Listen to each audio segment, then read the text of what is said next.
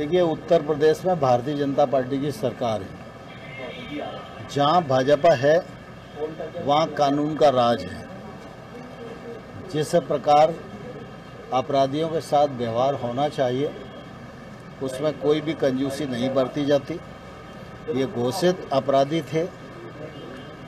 उमेश पाल की हत्या में इनका स्पष्टता नाम था। पाँच लाख का इनाम था।